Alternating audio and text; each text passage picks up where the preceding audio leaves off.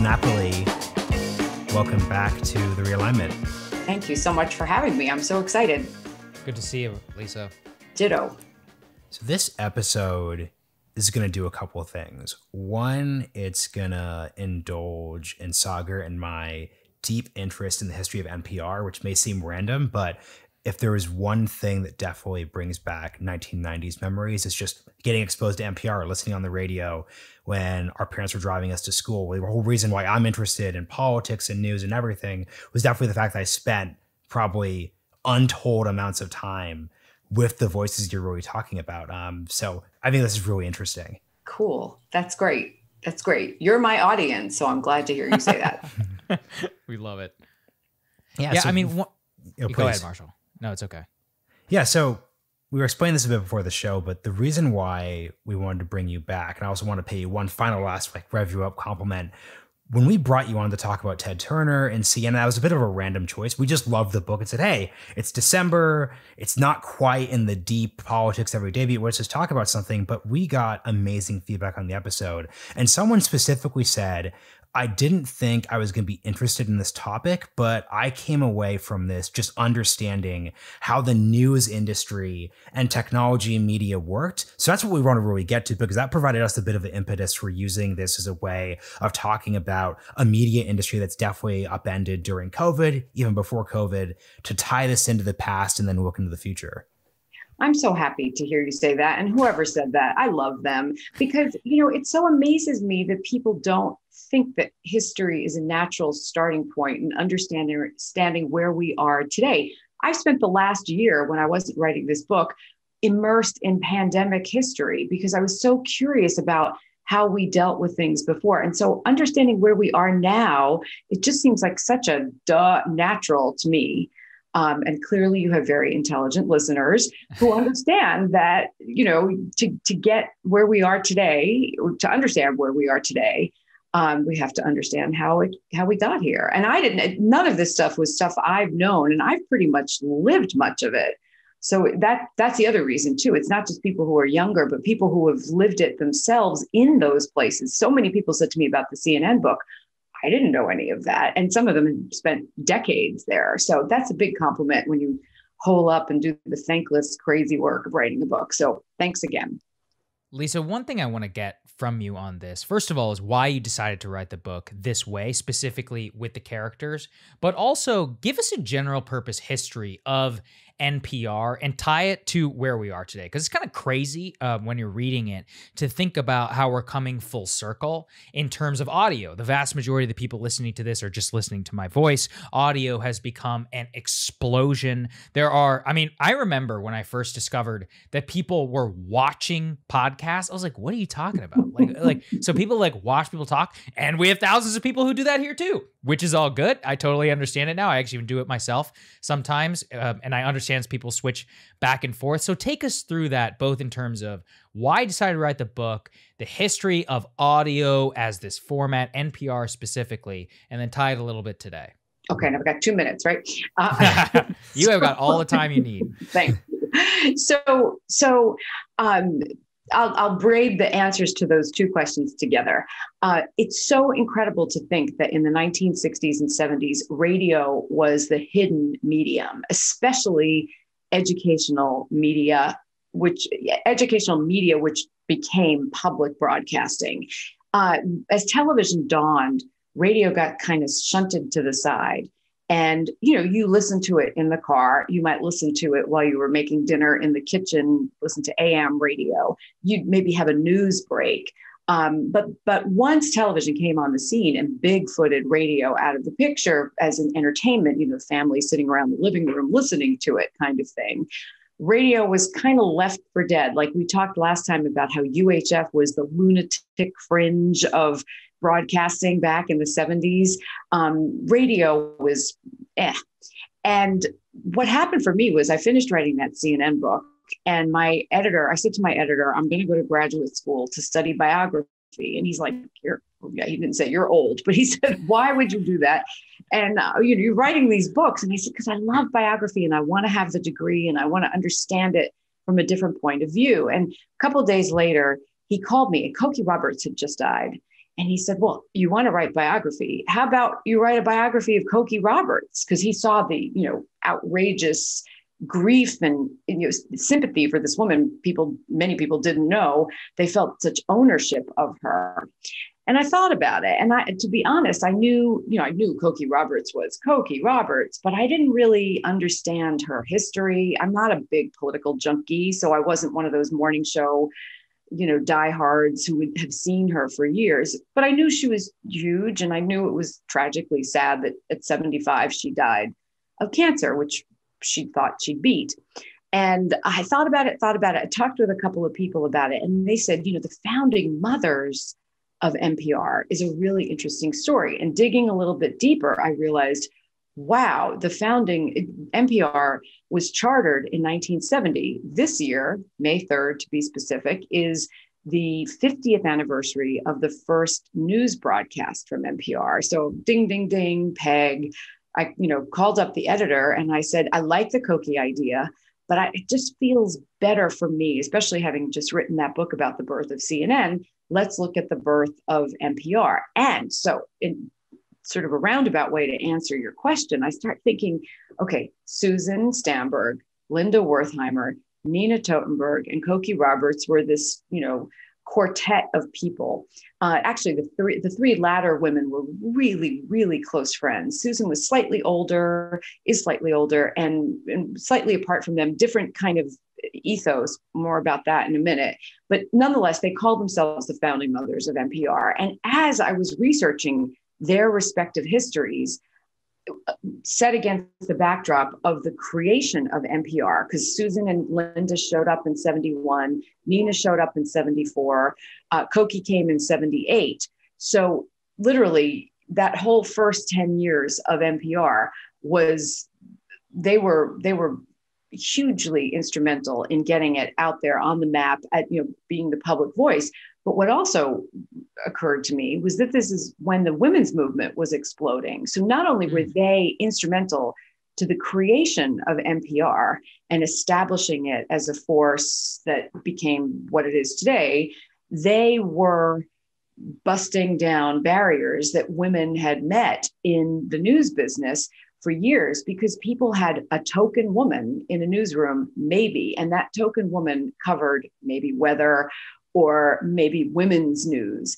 It was extremely unusual and very difficult for women to get on the air jobs or even byline jobs even you know where who, who cares if the person is reporting who, who should care about any of it but it was really hard for women to get jobs as byline reporters anywhere and so all of those stories twinned together uh, braided together seemed natural to me. Like the last book, it just seems like, wow, I can't believe nobody's ever stitched this together before. And then, and I'll stop talking in just a second, then what happened was I realized there's no way I'm going to write a, what they call in biography, cradle to grave of NPR or of these women in a year. If I have to write it in a year to make the deadline so that it comes out for NPR's anniversary.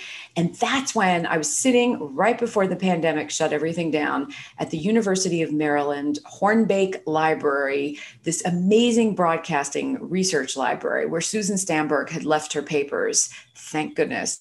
And there's so much material there and fabulous librarians. And there I am. It's freezing cold. I show up every day, take off my coat, sit down, they wheel out the boxes.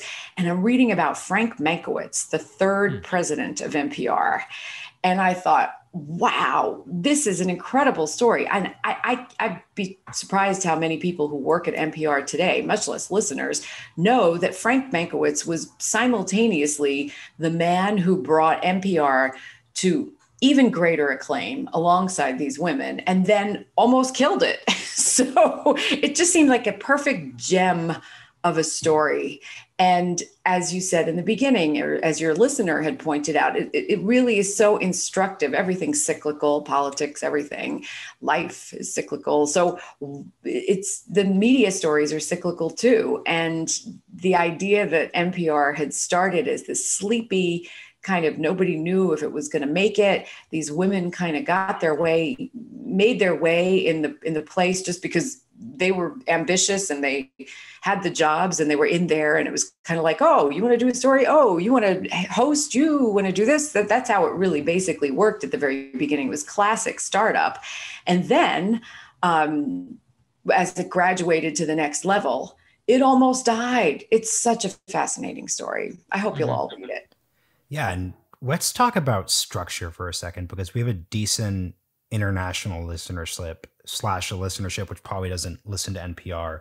So let's talk about the structure of NPR. So NPR, as I understand it, is a nonprofit corporation. So given that context, and if you're not watching the video, you're seeing me trying to wait until I get corrected for a misstatement. But as a nonprofit corporation, what does failure even look like? How can you fail when you have this national mission, you receive a degree of government support? How does it how is it possible that a model like that could lead to failure in the 70s? Excellent question. Well, you know, the misperception of nonprofits, and I know a fair amount, I'm certainly not an expert, but having written my Joan Kroc book and, you know, danced around the nonprofit world for so long, um, I'm intrigued by this belief that just because a nonprofit is nonprofit doesn't mean it has to make money or has to make an income and balance the books the way you do personally and your employers do personally. I mean, there's uh, organizationally. Uh, so the misperception is that a nonprofit just sails along and raises money and does good and yeah, yeah, yeah, there you go. I mean, just to go back to the roots um, of public broadcasting, public broadcasting was established by President Johnson in the late 60s because commercial broadcasting was making a fortune and had this, as we talked about the last time, this triopoly, these three networks controlled the airwaves, both on the local and national level. And that was worrisome to people. People were worried, A, that three companies controlled public airwaves, that um, basically that framework that was set up was to sort of offset the idea that these three networks controlled um, broadcasting. And the, the model proposed was like the BBC. Um, and probably, I don't know much about how it's set up in other nations, but I think it's probably similar that, that a government funds an, a media outlet and that you know basically in essence controls the media outlet. But that's what that's not what they wanted to do here in the late 60s when they were setting up public broadcasting. Basically what they were saying is we need to set up an alternative to, to commercial broadcasting that doesn't just focus on the commercial interest. But that doesn't mean that it doesn't have to balance the books or raise money or get money in the tent to do the productions that it does. Now, of course, public broadcasting evolved gradually, just as, you know, every startup does. And I, I, can talk more about that in a second, but just in answer to your question, it's the it's the idea that a, a public, a nonprofit can just, you know, do whatever it wants. And it, it can't. I mean, now they're always bad guys, but mm-hmm. um, yeah, yeah. So one of the things I want to get to, Lisa, and, to us, I think in particular, and probably a lot of our audience, which is it was fascinating to me to read the genesis of listener supported media. And I think this is very important in the context of where we're at today in the Substack revolution um, and all of that. And I definitely want to hear your thoughts. I love the story itself of how this kind of came about. Could you tell it to the audience about how NPR got to the point of soliciting donations and receiving and creating.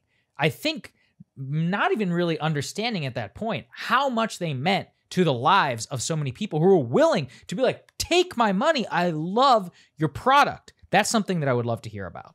You know, it's so scary how people are so willing to give money to something they love and not think about how it's spent but that's a yes. whole other conversation but but it is important to say with npr vis-a-vis that comment that NPR was not set up to raise money from the public. It was, uh, and, and it's still to this day confusing for even people who give lots of money, including, by the way, Joan Kroc, who gave NPR when she died $250 million, or what wound up being $250 million. Basically, people, when they're listening in their local markets, don't understand the difference between this little receptacle or big receptacle in whatever market I live in versus the network itself. It's not dissimilar from I watch local ABC, W, mm-hmm. whatever it is, mm-hmm. to see the ABC network. And yet, you know, the local news is produced, produced by the local station, whoever owns that. And then the national news comes from the network. That's basically how NPR and its member stations are set up. And in its very beginnings, uh, NPR was not set up to raise money. The people who raised the money were the local stations. Um, the, the finances were completely different in that the local stations today get money from their listeners. They get money from selling basically ads. They get some government money. Whatever government money there is, is given to the local stations more than it is to NPR, the network. Mostly ah. that to make sure that the local stations serve the local audience. The big concern in the 60s and today, too, of course, is that this hyper local thing that we all know is important, and we've certainly lived why it's important.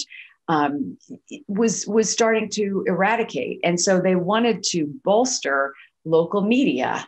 Um, okay, I'm getting off on too many tangents, but basically, NPR, the local station, takes that money now and pays at some sort of fee that is something to do with their listenership and the market size to NPR, the network.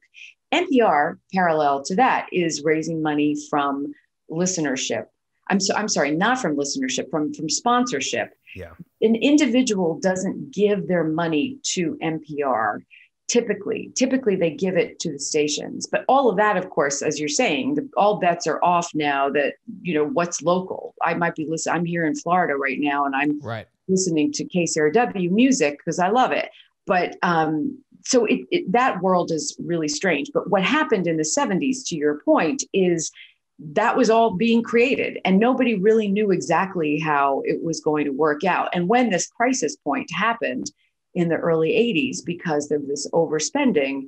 Um, it was natural for the people within NPR, the network, to say, let's go to the listeners. We know the listeners love us. But the problem was that the stations kind of like, well, we love you and we need you too, but we are the ones who go to the listeners to ask them for money. So it, it's it's braided together and it's confusing. I think not to to suggest that they do it for nefarious means, but um, it works to their advantage that people really don't know the difference. Yeah. Here's one of my questions here. Can you talk about the logic there? So, like, was there some tortured, um, was there a tortured debate inside the company around, or sorry, inside the and inside NPR around asking that question? They're broke because I think this is very important. It essentially is what happened in the blogosphere 20 years later where they were giving away their content for free mm-hmm. nobody quite yet got to the point where they were just like hey like give if you like my content give us money some of the infrastructure wasn't necessarily there either and people were there's the assumption people are just too used to listening to stuff with ads. They're never going to pay for it. Obviously, that was totally wrong. Um, not that advertising supported media isn't important as well. I'm just curious to think about that logic because it literally is happening again right now. And there's the same level of debates. Well, and I lived it at the New York Times, which of course is not a nonprofit, but in the late 90s when I was working on Cyber Times, they when when the New York Times first went up on the web, everybody was just building their website if they were smart enough to know that they needed to, and just throwing stuff at it. And I was fortunate enough to back end into this section, Cyber Times, that needed columnists to write for it, and no one who had any print cred wanted to write for the damn web. So people like me back ended into these jobs and they had to pay us really well because they needed people who cared and knew and wanted to. And so when we were doing that, the New York Times on the web in the earliest days didn't charge, did charge internationally. I, I don't even, I should ask the guys why they did that. For some reason, they thought that people internationally should pay. There was a paywall. And then there wasn't one, if I remember correctly, in the very beginning of the New York Times website. So everybody's always experimenting and trying to see what the viewers will or listeners or audience will will pay for and you know to your point with npr in the very beginning they weren't they got a little sliver of this public Broadcasting Act money only because there were a bunch of guys from educational radio stations around the country who said, You're not going to leave. It was a public television act to begin with. You're not going to leave broad, uh, radio out. You have to make this the Public Broadcasting Act. Oh, no, no, no, no. We'll include radio down the road. We've got to get public TV set up first. These guys said, No, no, no, no, no, no, no. You have to put radio in. So they they basically t- scotch taped it into the public Broadcasting Act that made made it the Public Broadcasting Act and allocated something like five million dollars to create a radio service. And nobody knew what that was. Mm. All they knew is that there were educational stations around the country that wanted to get some better programming that wasn't just the programming that University of fill in the blank might have from students or professors, people reading books or whatever they did on you know classes. They would they would broadcast popular lecture series. Um, and there was no concentrated media effort. It was just a real playpen and it was a wonderful playpen if you got your voice on there and you got your message out or your music or whatever. But there was no concentrated status concentrated strategy. So npr is set up in 1970 chartered in 1970 to provide on a national level some sort of programming to unify all these stations around the country and not just unify them, but really basically to up the discourse intelligence of, of radio and not just have it be bleeding commercial pop music. Mm. So, 1970, these guys, mostly guys, were hired and uh, they came from all over and they thought about it and they talked about it and the first thing they did was they create all things considered which went on the air may 3rd 1971 they didn't even really know what all things considered was going to be they thought well two hours seems too long so we'll do it for 90 minutes I love how arbitrary have, everything really yeah, is. I mean, the, the, the, founders even said that. You know, it's kind of like, well, you know, yeah, maybe maybe we can do 90 minutes. An hour's too short. Right. So then they had five reporters. They had a host who lasted a matter of months. Um, you know, they they didn't have official job titles. Most of them, it was kind of like, oh, er, you got here today. Why don't you produce? Oh, Linda Wertheimer, who hosted the show for years, started out at the very beginning and she wound up being the director of the show just because she was organized and she you know hated to see things be disorganized. So that's how in uh, you know unformed it was. And it, it hadn't occurred to them oh my god we got to raise money. Oh my god what are we going to do when we need to expand? It was only when i mean it was gradually i shouldn't say it's all about frank mankiewicz but as frank mankiewicz showed up um, in the late 70s he he recognized that he needed to fight for more money and and think about more creative ways to bring in revenue and to expand the perch. And that's this is a very long way of saying that there's no simple way to show exactly how this whole public broadcasting finance of unfolded. You know, James Leder, Ledbetter, I don't know if you ever had him on. He's amazing. He wrote a book um, about the financing of public broadcasting that's hmm. really excellent. It's 20 years old, but it all it's all about this crossroads that that it came to where it became basically a viable concern. No, it was not a for-profit business where there was stock, but there are people making a lot of money in public broadcasting, even if they don't own stock in the company. Um, we'll get to that too. But uh, yeah, so so I don't know if that's answering your question, but it, it's just it's it it, it was a slow march and, and yes. early on they decided that it wasn't going to be like the bbc that they didn't want government involvement that they didn't want to tax the radios and the televisions to pay for it um, that it was going to be an allocation of money that um, that launched it and then of course it has to go from there it has grown from there there's there's so much there, Lisa. So I want to I want to just tee up two things for you based on what you said. Taking whatever order, miss one, pick one, whatever works for you here.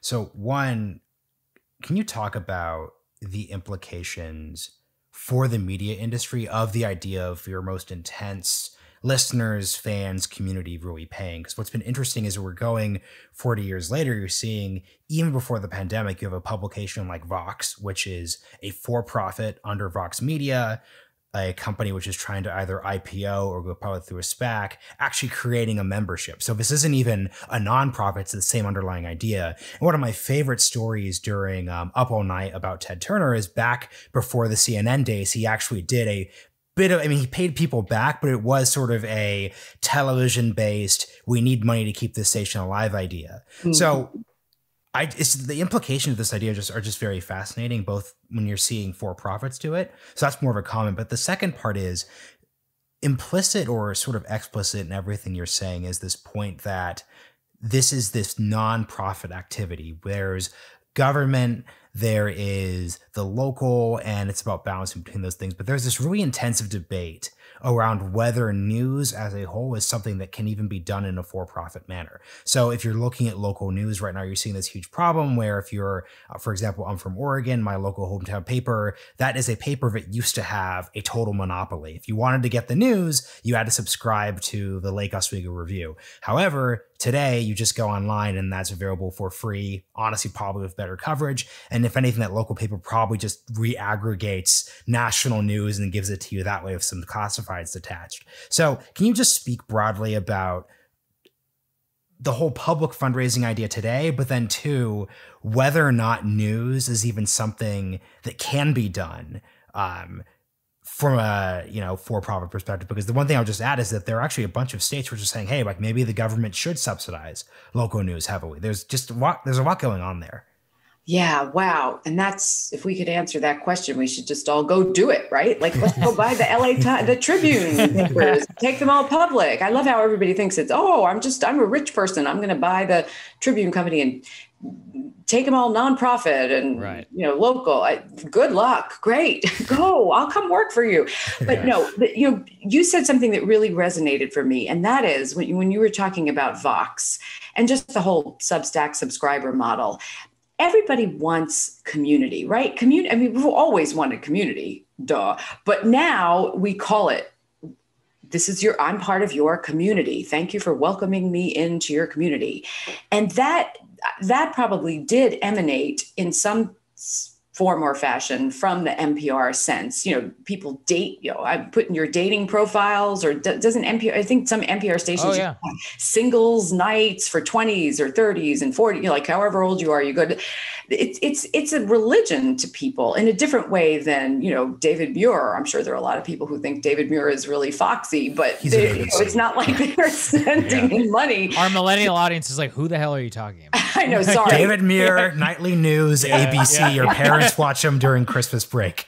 Yeah. My mother watches it, and I, I never had seen him. He's very cute. I can see why all the you know all the ladies think he's adorable and gay men. I mean, like he's really great. But but no, the whole idea that that you feel this ownership of media, not just that you're like my mother sitting in the living room watching the, the nightly news at the end of the day, which is so quaint and retro, but but that you feel you. There was this big controversy earlier this year. They made an NPR AF shirt. Somebody I know who's older said to me, who actually was involved in the early days of NPR, he said to me, What does that mean? and I had to think about it for a second. And I thought, It's not autofocus. Oh my God. Oh my God. And when I told him, he was understandably offended not to sound like really square which sounds square in itself but but anyway people are so rabid you know tattoos for npr they love it and tote i bags. think that tote oh, bags oh, certainly tote bags right. mugs but i think that that people are so starved for ways to belong. And this is aside from the pandemic. And to show you know it is it is a political statement in you in a way not even if it's political that you say i'm a, a, fan of whatever by wearing a sweatshirt from your hometown or you know it's it's a way of mm-hmm. identifying. And npr even back in the 70s, before millions and millions of people listened to it, had started that. And that's why you can thank mostly, I mean, all the women, but Susan Stamberg in particular, because she was the host, the first female host of a national nightly news broadcast. And even though she didn't want to think of it as news because she wasn't a hard news person the way Nina, Cokie, and Linda were, in fact, she was decidedly anti that kind of inside what we now call inside the Beltway kinds of news. She wanted, if she, her famous example was when Jimmy Carter got elected, she didn't want to talk to Jimmy Carter. She wanted to talk to his dentist about his teeth because his smile was so famous. And what could she learn about him by talking to his dentist, which is very smart because, you know, he had lots to say about that. But she wound up interviewing Jimmy Carter, by the way. But that's a that's another story. But but so I think that NPR didn't set out and it's like when I had this conversation in the early days of the dot com era, the guys who set out in their garage to make the next thing that you set out to do in your garage that made you really rich usually didn't succeed. But the people who came up with an idea because they were really passionate about it and and authentically we never use that word then but really passionate about it they were the people who often succeeded. And that's what happened with npr it, they decided not to sound screechy and broadcasting which is what broadcasting was at that point. And they allowed people in who weren't just white men. And um, they particularly allowed in women. They didn't allow in tons of people of color, but that's a problem that continues to this day. And that's a whole other issue. But they, they opened the doors in a way that other broadcasters hadn't done, both by the tone of the stories, the types of stories, and the people who presented those stories. And in so doing, um, especially since most of their audience in the very beginning wasn't in the big media cities on the coasts. It was in, in the heartland, and the mm-hmm. heartland didn't have a great local newspaper necessarily. Mm-hmm. And so all of a sudden, you know, you're hearing this warm voice bring the news to you in a really humane way. And that made people really fall in love with it. And as a consequence, they could, they, meaning the stations, could raise money based on the fact that people really felt this ownership of this organization. Now, of course, it helps because this concept of nonprofit makes you think, oh, well, they're hard up. You know, I'm not going to give money to a rich person. I'm not going to give money to the ABC with David Muir, who's probably making however many millions of dollars a year, a year, but I'll give money to NPR because they need my support. Well, again, people don't realize they're not giving money directly to NPR. And now, today, they don't realize that many people in NPR, in the public radio sphere, are making serious money. They're not, you know, not poorly paid. So, mm-hmm. uh, but I feel like I lost one part of your question. I'm sorry. Well, no, I, I just want to call out a quick comment and I'll throw this to Saagar because I want to highlight something you just said about the nature of these passion projects in media versus the very we're to go out and build xyz media media empire bit because if you're looking at just the carcasses of media companies that just really failed on the internet especially the past 10 years. So people who went out and said you know what? I'm going to use facebook to build cnn for millennials or i'm going to do this or this for that um, it, it's funny something that Saagar and I missed out on is, for example, when Vice News used to be this cool thing back in the late 90s and 2000s, when obviously Vice was out of control in a bunch of different, very specific ways, but it really used to be this gritty, edgy late 90s like lad magazine which actually had a real audience had real people there. And then you see this transition to hey like we're going to turn this into a 5 billion dollar company. Shane smith gets his awesome you know lambo and the mansion in la so that changes this. So i just want to call out just the real need especially as media refocuses on smaller audiences and telling specific stories cheaper like a podcast or something like that. That's just a really important thing. But i want to throw this to you Saagar yeah, I you know, Lisa, there's this thing I'm thinking about about that emotional connection that you have, you know, obviously with the founding mothers of NPR. I think of like my dad and Planet Money. I mean, he loves Planet Money. Or like Diane Rehm and books. They're just these are these are like characters in my head. Again, I I would never, you know, I've never met them. I probably never will, but they exist for me in a very visceral space. Mm-hmm. I'm curious whether you think that can even happen again today and Marshall and I were talking about this in the context of like Oprah, where you do actually need somebody who is just this general purpose interviewer who everybody really likes. But it's very telling that it's still Oprah in 2021. It was Oprah in, in like 1975. 25 years and it ago. has or like ha- hasn't changed. And I'm like, is it possible to be Oprah today? Like, and what are we losing by losing that? Because uh, look, there's a lot of benefits to losing that actually in terms of corporate control, etc. You know, I am frankly been the, one of a huge beneficiary of that. That being said, there's something really nice about having this like uniting cultural figure who is universally like beloved. We were talking about this in the context of the royal interview. Now, you, you could say it's trash or not, but like 100 million people watched it, okay? Like that just doesn't happen anymore. And so from that perspective, I'm just curious from your thoughts. I, I just teed up a lot to you. Go Well, ahead. one, one quick one Oh, quick thing, ahead. Lisa, because I want to give context for the audience because this Yeah. is actually a really interesting debate. So, I was listening to a podcast actually um, that Erik Torenberg did. Listeners will remember him from January, and he was talking with a venture capitalist who said, "We are never going to see Oprah's ever again." This is a Hmm. VC who invests in media, and he's like, "Look, listen, look at the big YouTubers." No one's ever heard of most of these people. Look at most Joe Rogan's obviously very big, but most people don't actually listen to Joe Rogan in the way that you're seeing the Walter Cronkites or the Nina Totenbergs or the anchors at CNN in the 80s and 90s. No one actually has these mass audiences anymore. So what Saagar and I were debating was A, what function does that mass audience figure serve? And in the current media dynamic, is that something that's ever going to exist again? You know it, it is so interesting because i do remember all of that um, you know the whole idea that there was a big event by sunday night movie you know a movie the wizard of oz and everybody was watching it. The whole nation watched it. Um, i think we definitely are atomized in a way more than ever before because of that.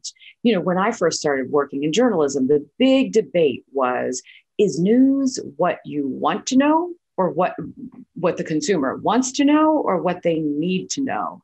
And what is it that they need to know? There was a big it's it's kind of funny and and quaint right now but the big conversation was well you know most americans don't care about international news. And that's probably true in most countries that most people really just they need most people aren't ju- news junkies like you guys are and aware of what's going on in the world. Your listeners are but most most average people whatever that means that's not their thing. And so the question was how much foreign news or international news as ted turner rightly started to call it do you give people if that's not of interest to them and so now, of course, I could very easily just listen to hockey, everything, all day, every day, if that was my thing, and to the exclusion of what's going on. I mean, there are neighbors here in my mother's neighborhood, nice, you know, middle class neighborhood. People have good jobs.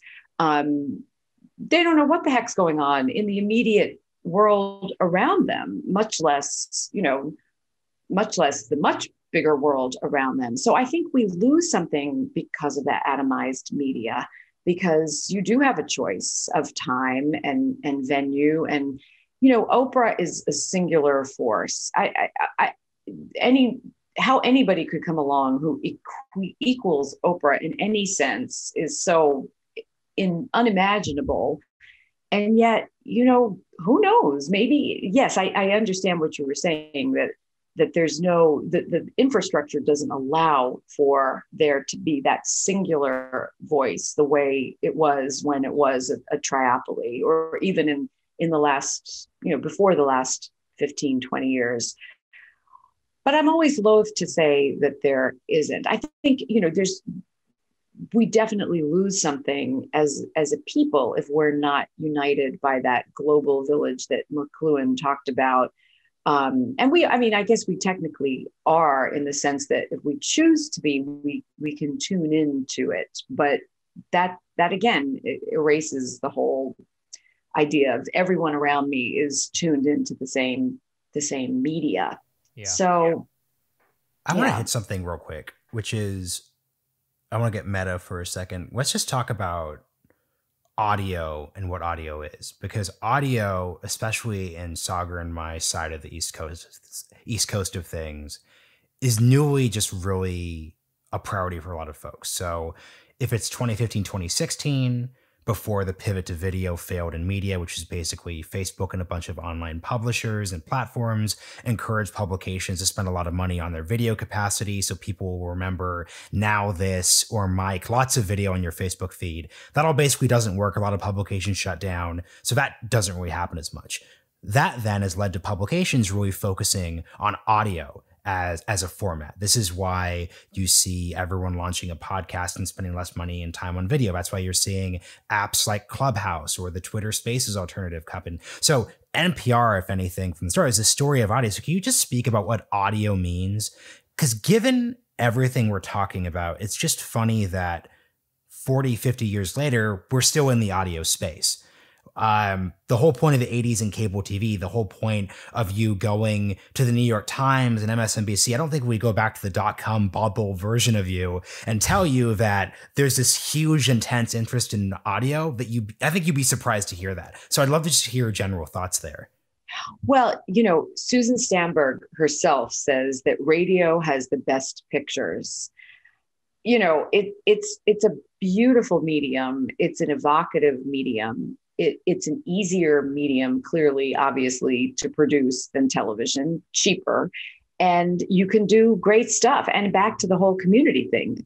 That's why you have a listenership. People like to hear to be part of a community. And it's easier to invite people into that community than when it's got to be a slickly produced television show. You know, television pretty much by definition, although I do love watching C SPAN and it's been very immensely helpful to me in the last two books I've written. Um, you know, television has to be produced and that that's a different sort of sensibility. So I think that we're seeing this, or, or we've been seeing this attraction to to radio or audio storytelling because it is such a beautiful evocative. It doesn't have to always be simple. Yes, there are really skilled people who are producing rich layered you know what do they call it sound rich storytelling mm.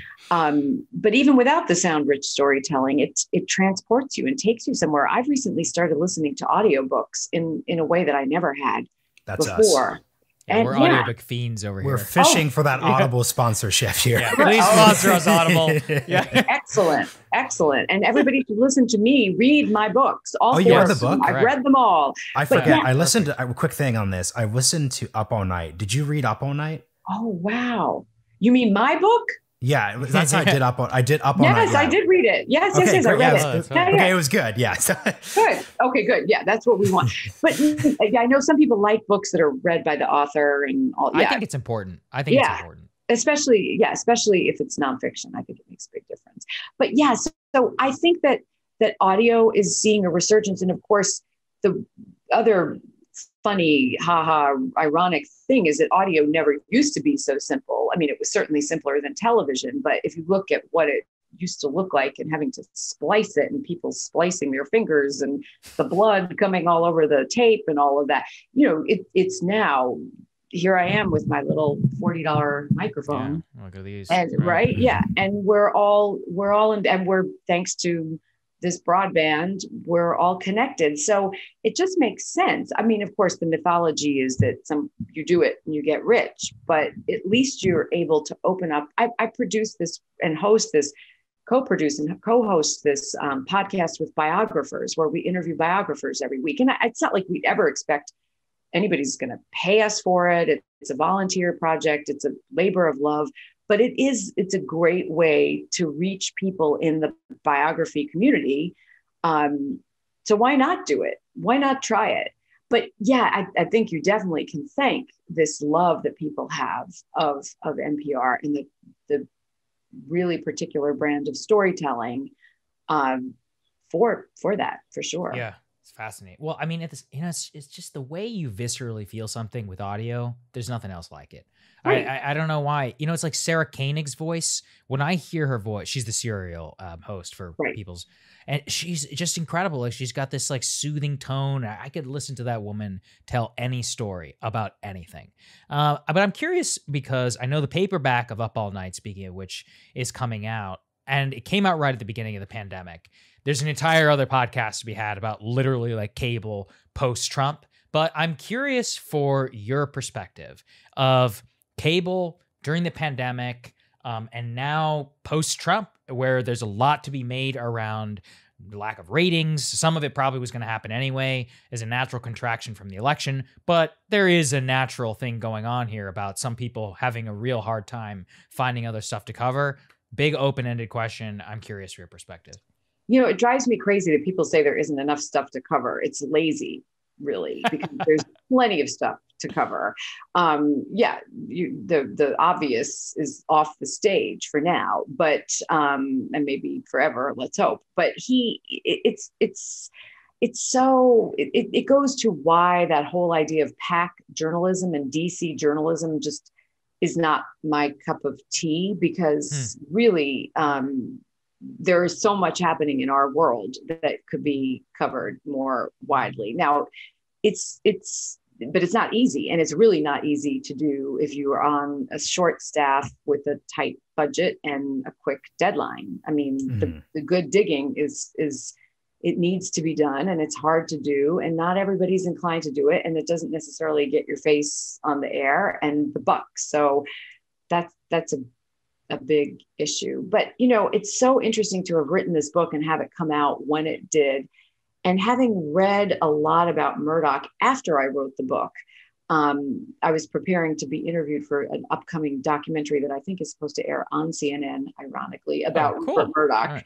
Yeah. And um, and reading more about him than I ever had before, it, especially to look at him teeing up him against Turner, uh, which I decidedly did not do in the book. Probably that was dumb for the sales perspective because everybody wanted that fight. Um, but I but I wanted that origin story and he wasn't there yet. But but basically Murdoch says TV news is entertainment.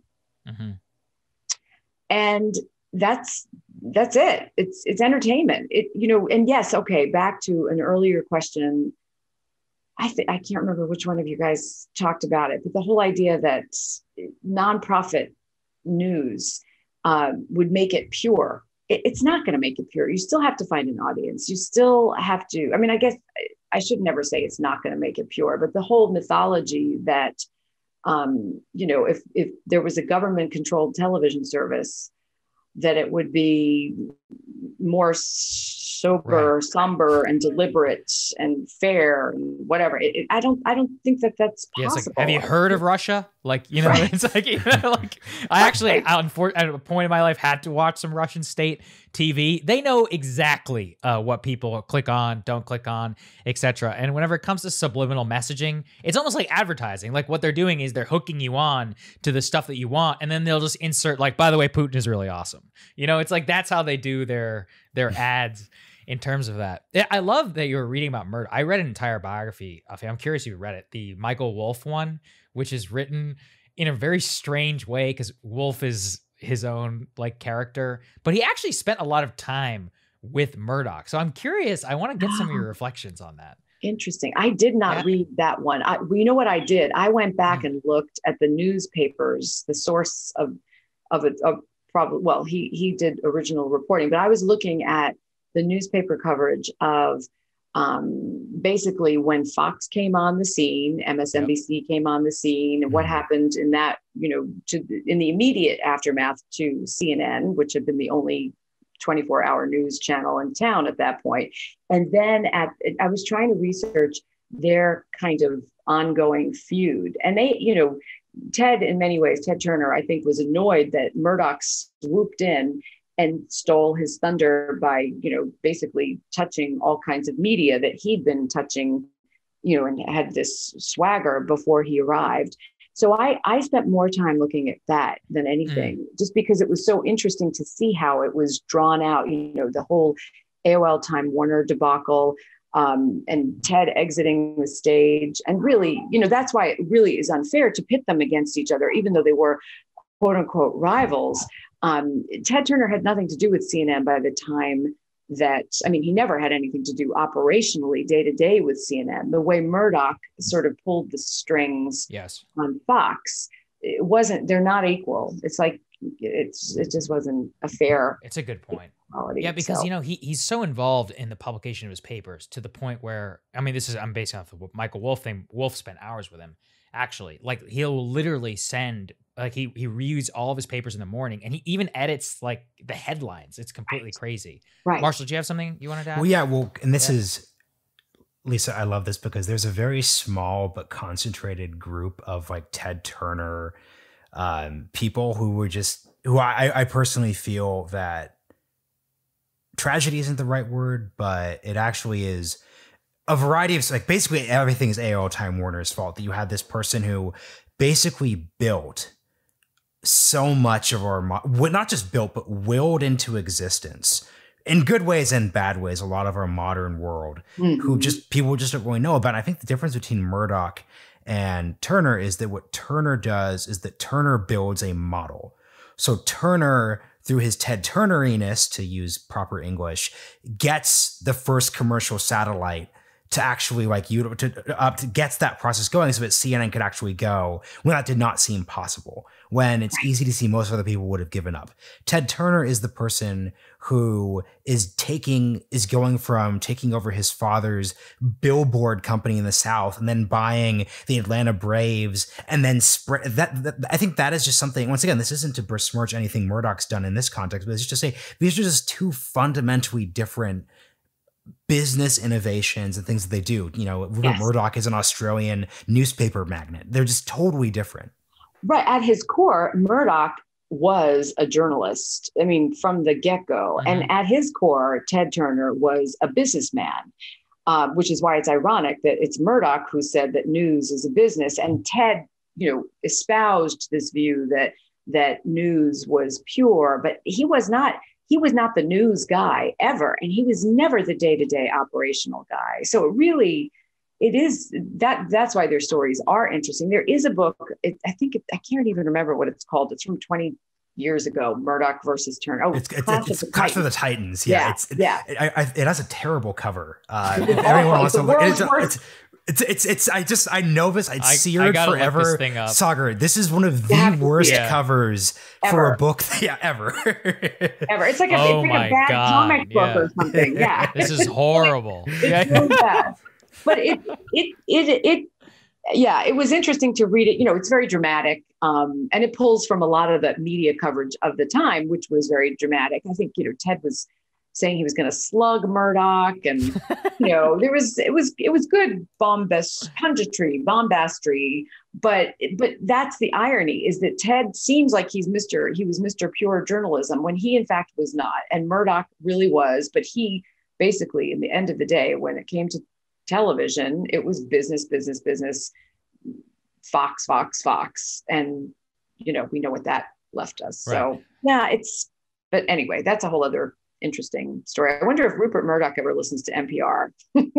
Uh, you know, it wouldn't surprise me actually. It wouldn't I- surprise me. Yeah, it would. I'm curious. I remember last time you told us this story how you were like, what was you were the first online correspondent for MSNBC?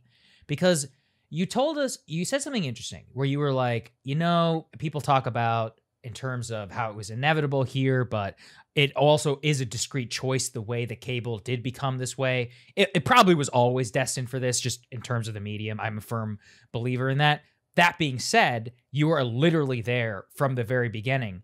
When you guys were there on the ground floor of MS, MAC, like, did you think this was to, like, at what point did you realize things were going to go the way they did with cable news? Well, see, now I I joined MSNBC from the New York Times, and I replaced a woman named Mary Kathleen Flynn. So she had technically done the job I did as Okay. internet. There was one person, internet correspondent, and she was she was it, and then I replaced her. So I came in a couple of years in. What was it? Three years into its existence.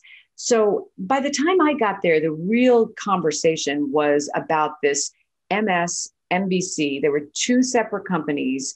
The website was run by MS, Microsoft, and the the um, TV was NBC. And then United, they had this these two properties, which you know had the usual problems that you have when you have people from two different industries running two different properties that have the same name but are supposed to be you know united and the big conversation then was when is video going to be when is the web going to be capable of doing what we all do now on the phone mm-hmm. which is watch entire movies so that was we were we were preparing for that and playing around with RealPlayer i don't even know if you remember that oh i remember real players the key yeah. thing for us lisa is that we are just old enough yeah. to remember right. the tail end of basically all these references yeah. oh well, and you God. know yeah you're you you respect history so you know about them even if you weren't there right but yeah. Um, but yeah, so so with with um, MSNBC, nobody.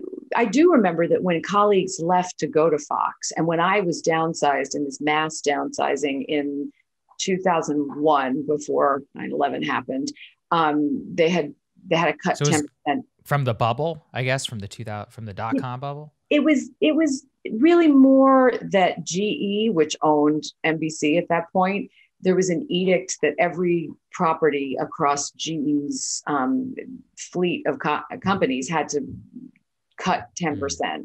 And they cut the internet correspondent. Um, probably a commentary on me as much as about the job itself. But I always thought that was ironic since the whole thing about MSNBC was that it was the, you know, Fox was doing its thing. CNN was still this plain Jane news in a plain, well, plain brown wrapper sounds illicit, but you know, news without the frills.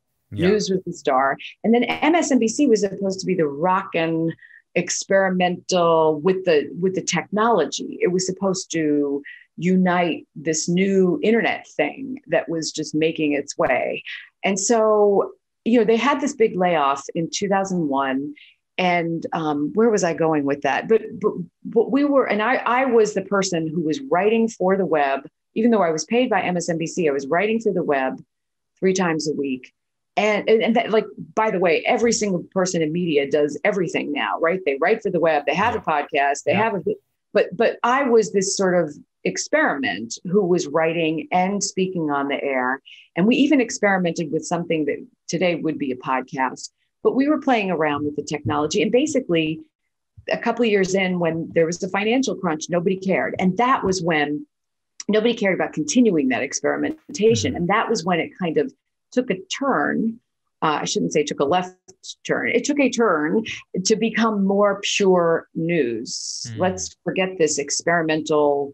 Um, you know, if you could, if we could look up like Soledad O'Brien was an anchor there in the very beginning, and she was sort of the poster person for this new high tech, highfalutin web mm-hmm. united cable thing. And that was so exciting. But it, it really did pretty quickly go by the wayside and become Fox, MSNBC, CNN. And that's when CNN had to really start amping up its differences or its its sexiness um, yeah. and not just be the news was the star anymore. And that was, you know, there's a whole devolution there because, you know, up until that point, everybody who was in power at CNN believed fully in the news. It's news, it's hardcore mm. news, news as defined by the 90s, which was as objective as possible. And meanwhile, over there, you've got Fox doing its crazy stuff. Oh, and I was saying when people left MSNBC, when I when we I was downsized, I thought, oh my God, I hope I don't get a job at at Fox because I need a job. but what would I do if I got a job at Fox? Oh my God! And of course, I didn't get a job at Fox. I'm not blonde. I was also yeah. at that point 38 or whatever I was. But yeah, I was I was aging out of television at that stage. But but we had colleagues who did go over there, and I always felt kind of sorry for them. So yeah. yeah, at that point, even even a few years into MSNBC's existence, it was was much more about the three the three sheep or something. I I, I don't know. I'm happy not to work in TV anymore. Yeah. I, I want to, for my last question, I want to tie all this together and look a bit towards the future just to set things up. One, super conventional wisdom to say this, but obviously, I would say my our generation, the millennial cohort, are not intensive uh, cable news watchers. And that's not a statement about MSNBC. It's not Fox News. This isn't a political statement. It's just right. just don't subscribe. I subscribed to the Kiwamoto for just this year for once randomly because it was a good deal. Wanted to watch sports and everything. Gen Z, I know for a fact is not subscribing to cable. But then, so then it's very easy to say cable is just dying. They don't get these big audiences. But at the same time, it's a brilliant business model. You get a cable bundle. So it's it's advertising, it's the subscription, all these things. And then at the same time, you're seeing I, I like the way you put this actually, how like your initial experiment at, at MSNBC was really trying to do it all in the ways that the most successful personalities can too. What you can do is you can wake up, you could do a TV hit, you could write an op-ed, you can appear at a live event show. That's very mm-hmm. cool right now. You can do a podcast, all these different bits. So you have people like Megyn Kelly, you know, obviously it doesn't work at NBC, it doesn't work out at at Fox, but they then create a podcast. So can you just talk about the future, your just perception of the future of these industries and the way that to keep teeing you up even further, and the way that I've appreciated about your work, which is that you're focusing on the technology that makes this possible, but then also the personalities and then the broader trends in American society, but sort of unifying all of it together. Well, you know, the personality thing is a really important thing to focus on because people want you they relate to people. They don't relate just to a voiceless or or a disembodied voice. Um, so I think that that, and I, I write a little bit about this in this book, this new book about NPR, and the criticism of journalists becoming celebrities, uh, journalists having brands um, because for so long, journalists, most of them, columnists as an exception, were people who were out reporting in the field and coming back doing the stories. And it wasn't about me. It was, you know, maybe you liked my story, but it, that that sort of personality driven news. Um, and maybe that's part of your reason your the answer to your question about oprah about why will there not be another oprah or if there will be another oprah because everybody's trying to be oprah or martha stewart. Everybody wants that you know to be you know and, and it's it's also unfair too the way we've talked for years about is it fair that a politician have to be somebody who looks good and sounds really good? If they're a really good administrator, uh, politician, why do they have to be this whole package? And that's what what you have to be in journalism now. You have to look a certain way, and you have to sound a certain way, and be quick on your feet, and pithy, and live shots, and live events, like you say. And and so that that troubles me. I myself, and this may be because I'm getting older, or just tired, or I just I love reading history. I love reading about how things were depicted at the time that they happened. I love uh, reading nonfiction accounts of things that happened in the past. And I, I challenge myself not to be consuming day of media with a frenzy the way so much of society does. I subscribed, I think since I last talked to you, I subscribed to The Economist. And I, I don't even look at the app is great and they do all kinds of live programming and all that kind of stuff. But I get it. And the first thing I do is I turn to the back for the obit, which is the best obit ever in, in The Economist every hmm. week. It, it helps me understand the world in a different way because it is an international hmm. publication more than it is, you know, a US centric publication. But I so so I feel utterly unqualified to answer what you're saying because I, um, although I wish everybody would do what I'm doing and I could start a cult and then I could be really famous like Oprah and, you know, no, but I, I just, I, I just having watched all of this unfold and it's been so exciting, especially that web period, that, that post uh, Netscape IPO period and that time at the New York Times. It was such a thrill now it's just kind of like because I've seen it, I feel like it is all cyclical. Mm-hmm. And I'm eager to see what you and others cook up next.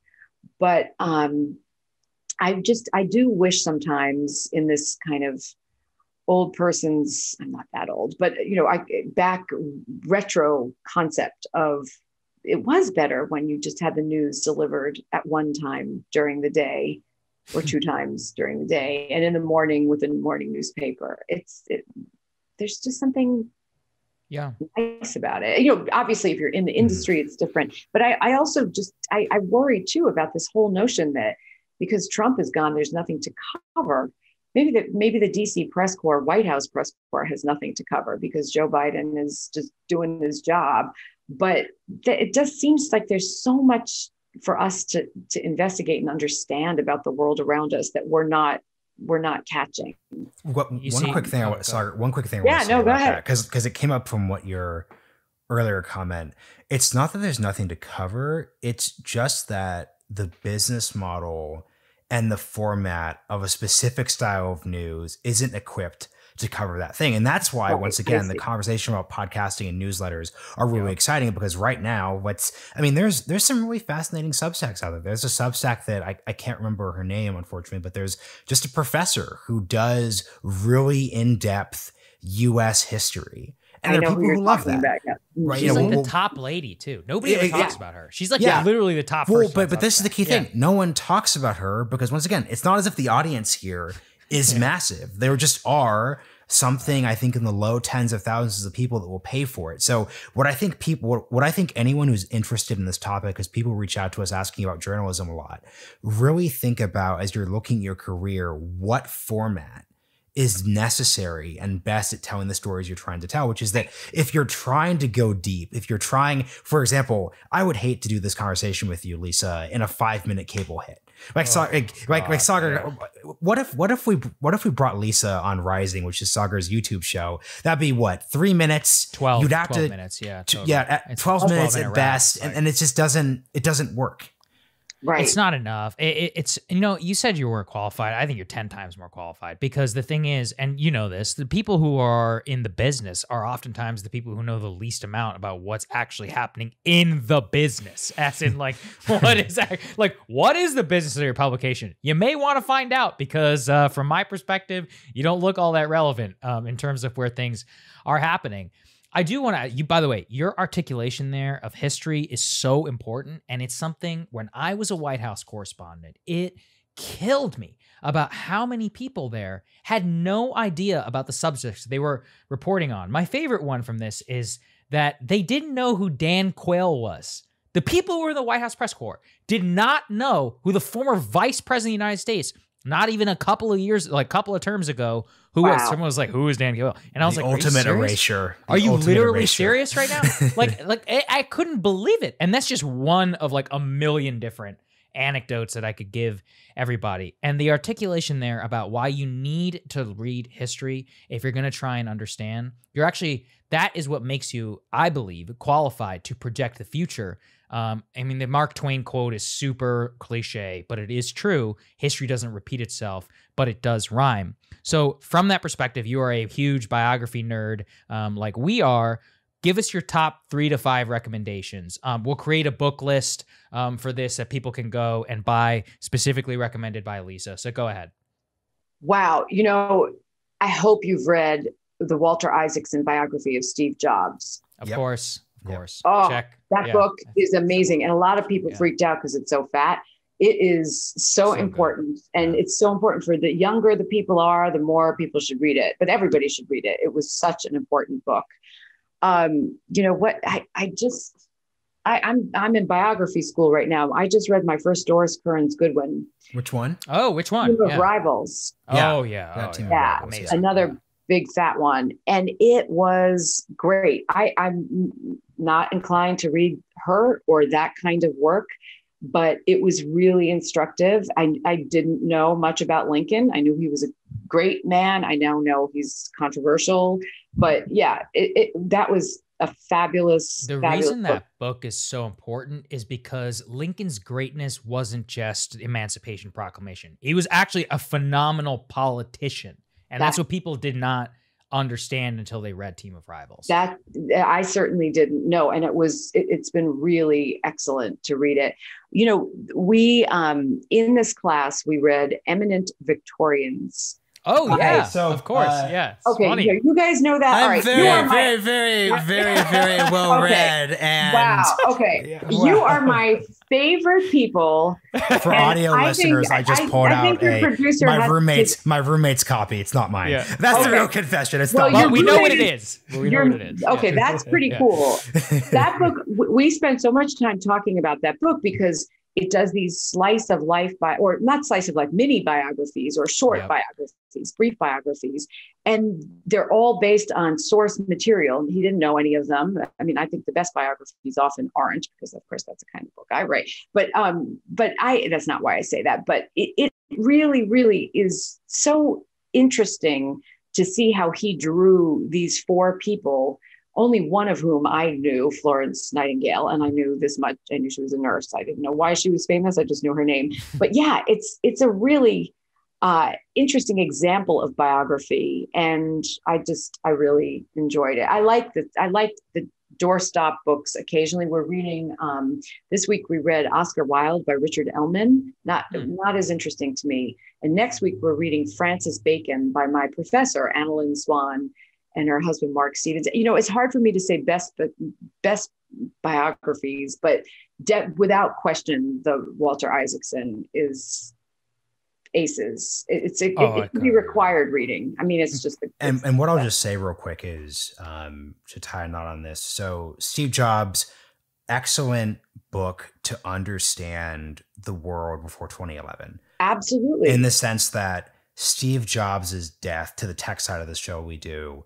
Steve Jobs' death is really just this demarcation line yeah. between the optimistic, really positive facing Silicon Valley that you were covering, that was in many ways literally funding the MSNBC that existed through the partnership with Microsoft, and the really contentious, hyper political one we have today. Uh, Team of Rivals, we'll put these in the bookshop link for everyone. Team of Rivals is just, it's A, a great book but it's also an interesting look into the world of 2007 2008 because it is one of those books that was like a fashionable washington book in mm. the hmm. sense that a lot of people in 2008 would say things like hey president obama you need to have a team of rivals so an argument for bringing hillary in this in, in his biography in his autobiography president obama says that wasn't why he picked hillary clinton as secretary of state but there was actually a lot of like talk at the time of he's trying to have this team of rivals cabinet so it's one of those books that really influence perception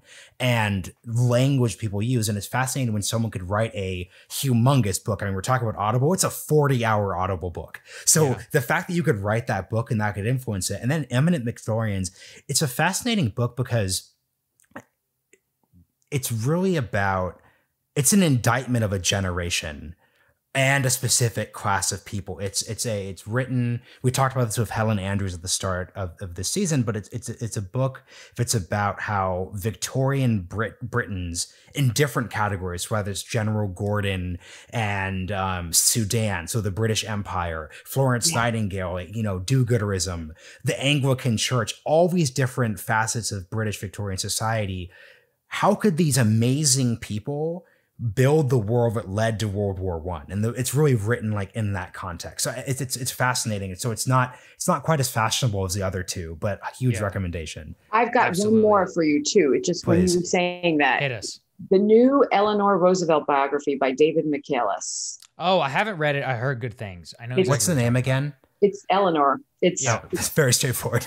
yeah. It's it's a it's apparently the only single volume biography of Eleanor's whole life and it is you know it's one of those it does what biography does best. It's about eleanor but it's about the time in which she lived. And her story alone i didn't know the backstory uh, is so dramatic and tragic.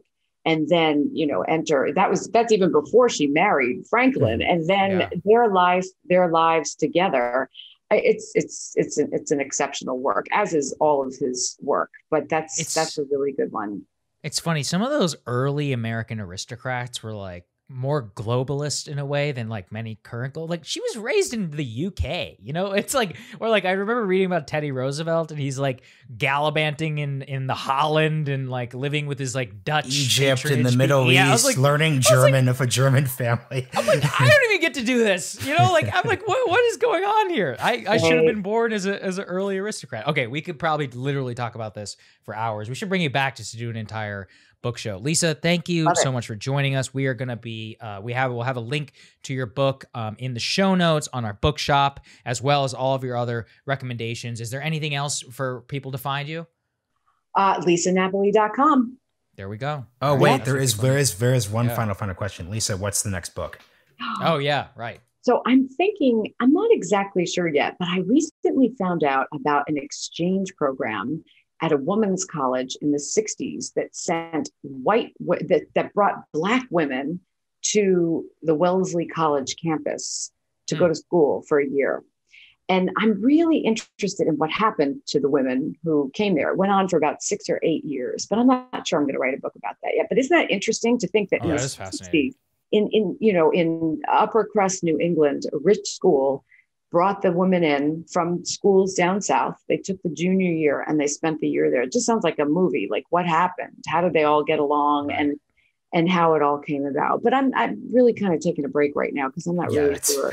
Can I make a plea fair. though for one thing? Row. Yes. Can I make a plea for one thing? So yeah. I was looking for a good biography of Sam Walton, and it doesn't exist. So I don't know anything about Sam Walton. He died when I was a baby, literally. Walmart, like founder months. of Walmart. Of course, no, no, no. I thought that there was one. I know that his daughter intrigued me because after I wrote the Joan uh-huh. Kroc book, I was looking at Alice, but I didn't know that there wasn't one about. So he's written an, he's written an autobiography. There but are a couple I, like what you know like, but there's no definitive bio of Sam Walton. And I'm reading this dude's biography right now. And he, first of all, kind of hilarious because it was written in 1992 with very different cultural norms. I'll just say in terms of some of the language that he uses. Um, but really interesting figure uh, I was because I was reading a biography of Bezos, and Bezos was obsessed with Sam Walton. So I was like, oh, well, I should go read a biography of Sam Walton, and I could not find a good one. And given how many awesome ones you've done, I'm like, Lisa needs to do this. So you're so I've now confronted you on the air. Well, that's good. No, yeah. I'm glad you did. And I wonder yeah. if you would you read a book about the New York Times, Cyber Times, and the web? Oh hell the, yeah, yeah. Okay, oh, yeah. So you, wait, but I'm, Lisa, Lisa, I'm Lisa, crazy. Lisa, I would also read it. Let's so, Lisa, let's let's pitch let's pitch you on air for this. The reason why there is just a segment. No, I'm going to put it a better way. Um, we keep on going, so just stop. I know you have like commitments, yeah. so just if you have stop. Stuff no, no, I've got to in a little while. No, no, I'm okay, good. Okay. So everything in our society today is fundamentally about the New York Times. Let's just run down the list. I have this revved up because I'm, I'm obsessed with it. One, debates about whether institutions work and whether they don't work. So, for example, there's this massive fight not massive, but if you if you go on parts of Twitter, which you know in our private conversations you've referred to as toxic, so that's very much a true thing. But if you actually look at the New York Times' success, it's this fascinating story because it says something about, hey, like actually big centralized media institutions can be incredibly successful. The New York Times, like the, the, the battle y'all were waging in the 1990s to take it online, the debate around whether or not content is free or not, the debate around individual choices, the story of where the Times now ended up with deciding, hey, like let's actually just charge people.